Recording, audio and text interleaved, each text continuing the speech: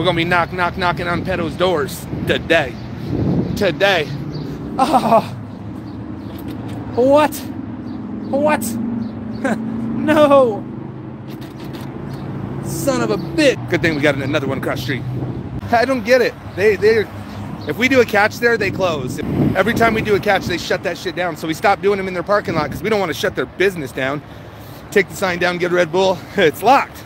I know I'm there enough, right?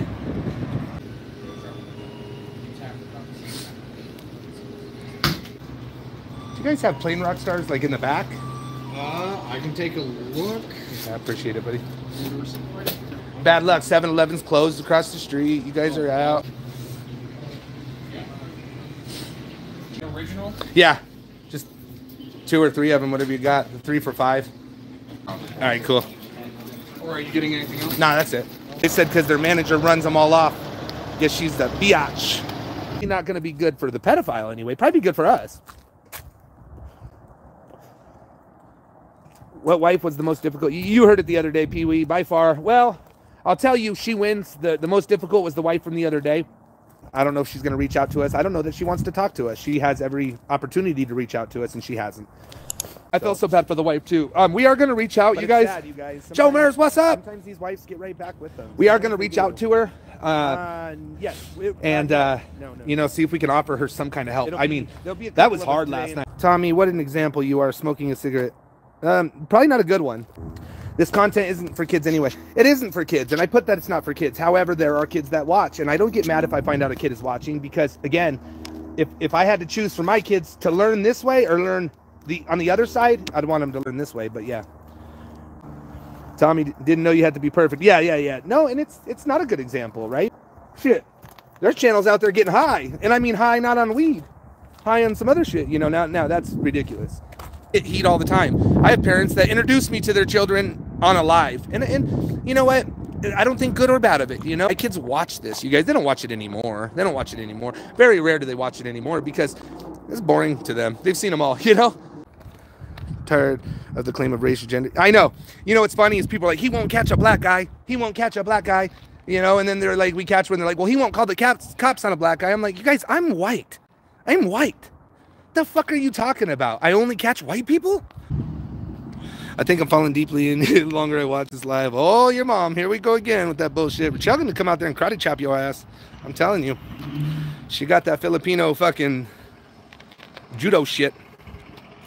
Nonprofit trouble. I've never been in no nonprofit trouble. Never. Luckily, I never got a donation to get in nonprofit trouble. So eh, I never did anything. We never got any grants. We never got anything. And we could have. We could have.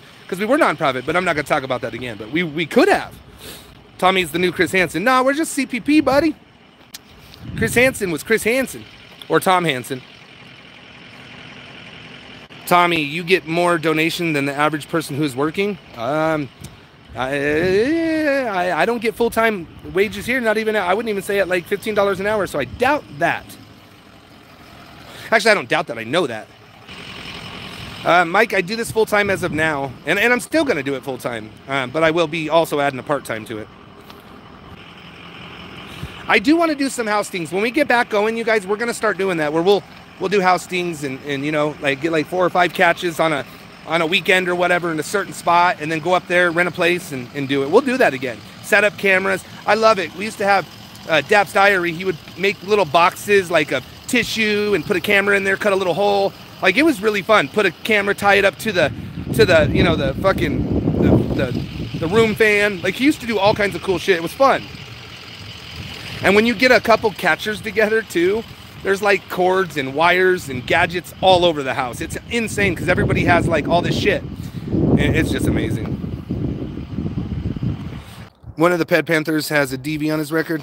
One of your Ped partners has a DV on his record. That's okay. Nothing wrong with that, man. People people grow. People are human. So I don't I don't pay attention to what uh, what the other Ped partners do. I don't pay attention. But you know what? As long as they're they're they're making better strides to be a better person, then their record doesn't mean nothing to me. I don't care what they've done. As long as they're not predators and out there hurting women, kids, or or fucking chill, you know, any children, then you know that's it. That's it. I, I think it's pretty crazy that people worry about what other people have done. Like, so what? When is the next CPP get together? I don't know, man. I want to do it so bad. I got so many places we can do it too. I got like a huge park we could do here, and it's on private property, and it's our property, and we could do what we want. I was told we could have sh- stripper fucking things, all that, you know? Just kidding. But no, we could have jumping castles and shit when they wouldn't let us last time because people called and told the city on me, you know? I just couldn't believe it. People called and told the city on me. You know, stripper poles and platforms and, you know, things. I mean, that's up to you, man. I'm I don't know. I don't think they're too young to know about this. So obviously, me, I would talk to my kids even at the age of five, like talk to them about, you know, you, know, like no no zones and shit like that, right? Like I think it's okay to to to talk to them about it, but letting a five year old see us catching a predator probably not a good thing. I mean, like I said, if it was the choice of them learning that, hey, I have a guy doing that to me too, you know, and getting them to talk about it, it would be worth it. Do you keep tabs on older catches and know their re-offense rate is? I I don't know their re-offense rate. I just know like the national stuff that's written down, and even then, I only know it when I read it. Uh, it's pretty high.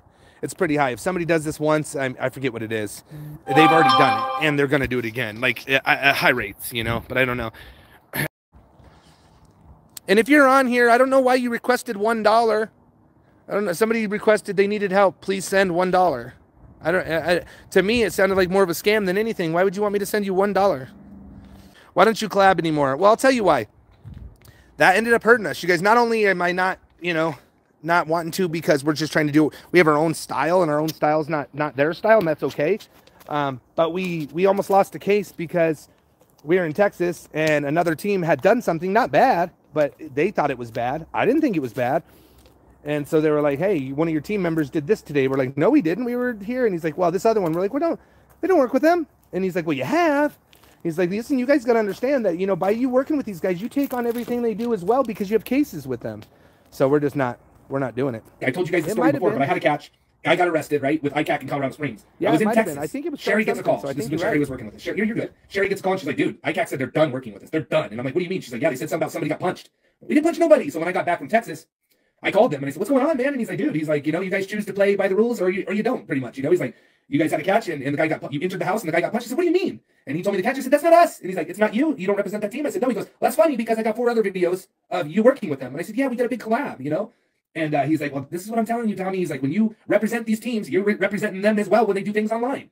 And so, again, you know, we we want to we want to be be you know if we're gonna be punished, we want to be punished for, for for our shit. You know, start your own police branch. Yeah, right. Hey Tommy, is it dislike because you were on the stuff again? You were jittery on your second to last catch. Hey Tommy, here is a dislike.